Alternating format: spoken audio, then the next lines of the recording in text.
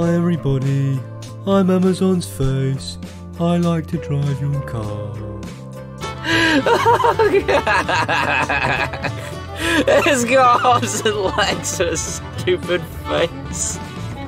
Oh god.